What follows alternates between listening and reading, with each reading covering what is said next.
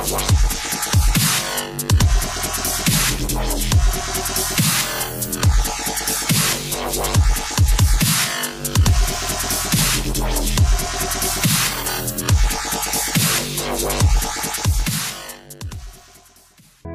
guys, welcome to RGS and welcome to another ROM review for Idea Aurus 3. So this is Samsung Galaxy S5 ROM. So this ROM has many special features like this have fully customized Samsung Galaxy S5 UI.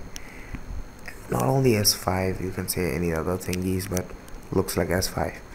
You can add uh, any wallpapers and etc you know just in the same way as you do on Samsung devices I'm gonna add this wallpaper right now which gives us a look like S5 so app drawer everything looks really fluid over here but this white color thingy this just shows us the recent apps that's just really annoying.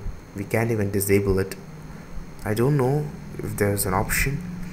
If there is an option comment me. So this app drawer is fluent to work with. So next next app all the apps are samsung apps. You get even samsung store there's node there's health and etc apps from samsung. So this this is the status bar. As you can see you have already noticed the ui of the status bar. Uh, actually this is a bit this video is a bit laggy because of I am using TeamViewer quick support to control it. So actually this is really fast. This comes with an Android 4.4.2 stock KitKat like uh, the original Android version and this is 4.4.2 this is not a prank. This is see? KitKat Android 4.4.2 so uh, as I have reviewed in the S4 ROM even the status bar over here is transparent and extra features like you just search all the phone you definitely like it I bet.